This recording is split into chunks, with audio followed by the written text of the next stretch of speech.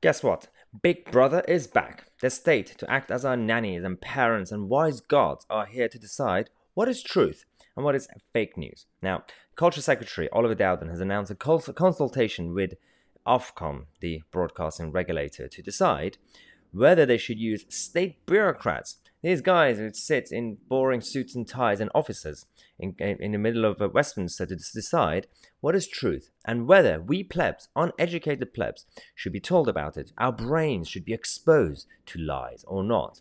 And a couple of problems with this. What they want to do is they want to censor Netflix and Amazon documentaries uh, on whether if if they are essentially spreading fully false information or semi false in the eyes of the government.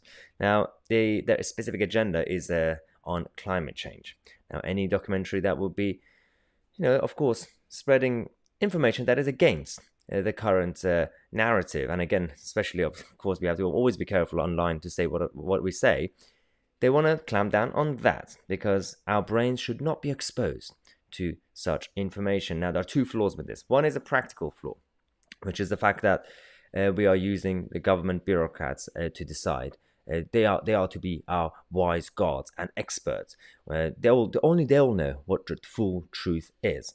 Uh, so we are giving full power to them to do it.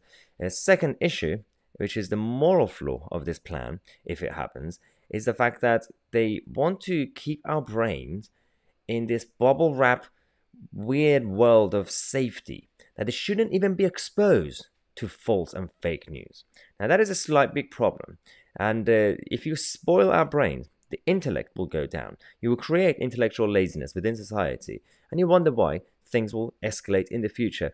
We need to be exposed to truth, to fake news, semi false, semi true, opinion, facts, everything. We need to be exposed to all sides.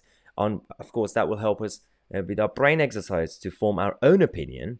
Secondly, if, if there is a documentary that is uh, spreading fake news, then there will be another documentary created to counter it. Firstly, that's good for the industry. Secondly, it will actually help create a debate and introduce more facts to say that, well, the first documentary was nonsensical.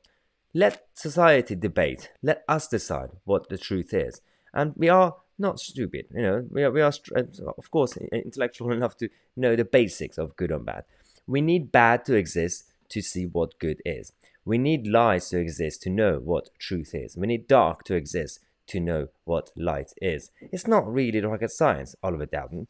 Uh, but their excuse is that they say, well, Ofcom is already regulating TV.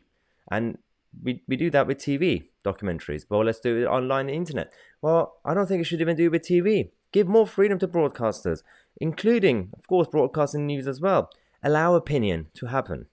And of course, people can decide for themselves. Now, on this issue and regarding all the other stories uh, throughout the day, we're going to be discussing all that on our uh, podcast at 6 p.m., the daily show that we have at mytc.co.uk. Make sure to use the promo code We Are the Media to get a free trial access to all our daily shows, podcasts, the chat forums, and everything else that we have on the website. Check out the website. Website, the link is in the description, and use the promo code We Are the Media. And I'll see you guys in the next video.